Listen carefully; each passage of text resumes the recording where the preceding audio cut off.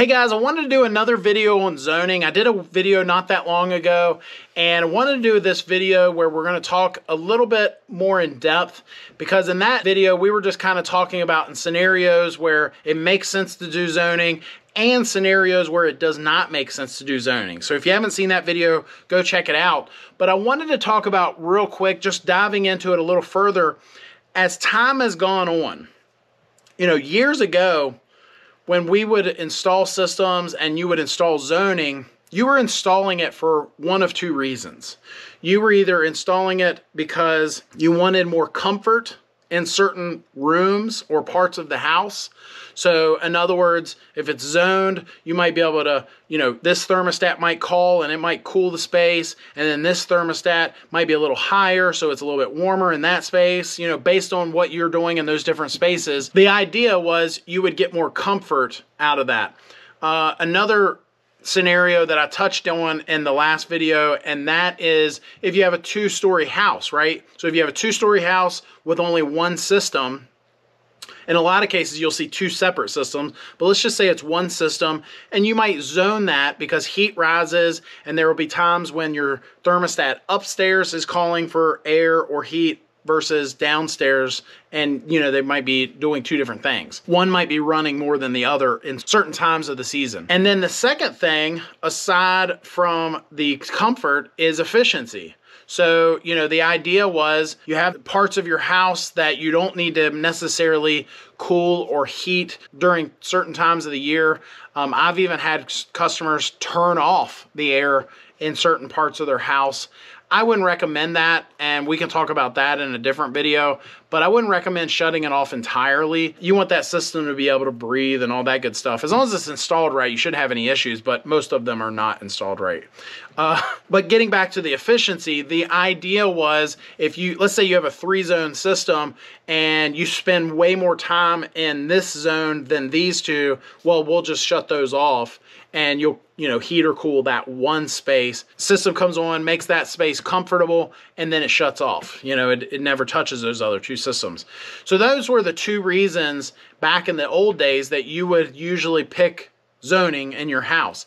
And I would still say to this day, those two are a concern, but I believe, and I, you know, I get guys commenting on my videos all the time telling me how stupid I am. I believe that those matter less than they used to. And let me tell you why. The first reason is as far as comfort goes, if a system is installed properly and you have an inverter system, you know, very efficient system, and it's doing all the right things and all your ductwork was sized properly and so on, I would say in a lot of cases, you know, you don't need to spend the extra money for zoning because you already have a very efficient system that's going to keep the house comfortable even with all zones calling, right? So if we did away with that three zone system and made them all just one zone, even with that one zone calling, it's not like it's going to just dump all kinds of air. And the last thing I'll say is instead of having to pay uh, somebody like me tons of money to put in a super fancy zoning system, let's be honest, a lot of registers just have dampers on them themselves. So if you have a part of the house that you rarely use, again, I wouldn't close them off entirely, but you can close them a little bit to push more velocity to other parts of the house that you spend more time in. And the second thing I would say, as far as today goes, when it comes to efficiency, is systems are becoming so much more efficient.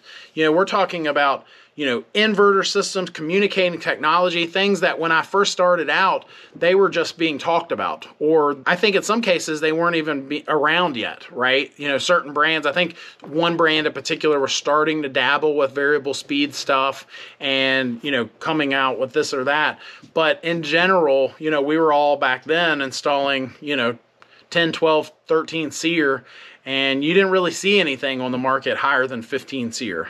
And so, you know, these days when we're talking about zoning, you know, the fact that you're going to spend all that extra money to have getting back to that three zone scenario, even if you're shutting off those two zones and only running that one, it's not that big a deal if you just leave those zones on, turn those three into one zone and run it.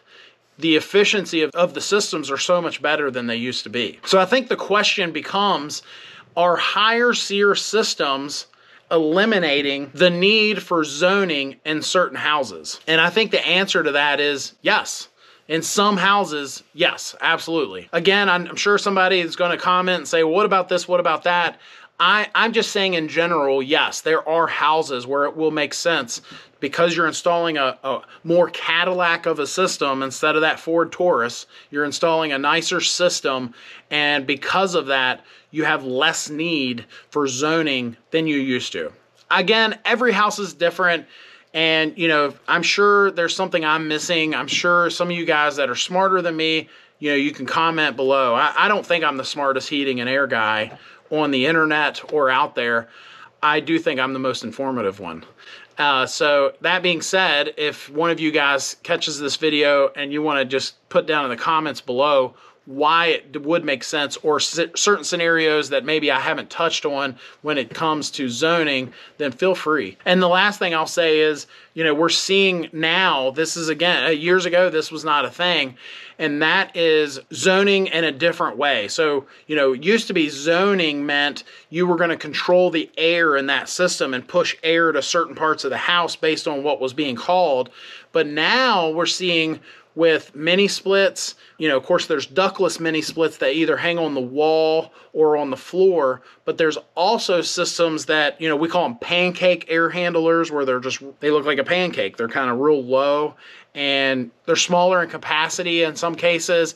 And, you know, we've done houses where they might do, you know, a pancake air handler there, a wall hung mini split there. And even now, there are certain systems, including the Daikin VRV Life, which is one of my favorite setups for a number of reasons. Of one day I'm going to do a video just on the VRV Life, but you can even pair that with a standard air handler or gas furnace setup with a coil. And there's not a lot of systems out there that can do all of those on one outdoor system. I hope that makes sense. I know I kind of rambled there. But if you're looking at zoning, trying to decide if you need to spend the extra money, I again, I think every house is different, and I would defer to your local professionals, but I'm just trying to give you something more to think about. Things that used to apply years ago. I'm not, I'm not saying they don't apply at all these days, but they're less of a concern. That's for sure. And then finally, if you are in the market for a new heating and air system, if you're in the Middle Peninsula or Northern Neck of Virginia, give us a call, Griffin Air. We would love to earn your business. But if you're not in our coverage area, you're somewhere else in the country and you are in the market for a new heating and air system, before you spend thousands, check out my new website, it's called newhvacguide.com. I'll put a link to it down in the comments. And this website, I basically wrote a book, made it a guide, put it on this website, and instead of having a book that would be outdated within a year or two, I'm able to constantly add things on there if new things come out. And the other thing is I've even put information on there that people in our industry don't even want you to know. So I've got a whole page called no-nos and, you know, just things to stay away from and so on. That being said, thanks for watching. Hit that subscribe button. We'll see you next time.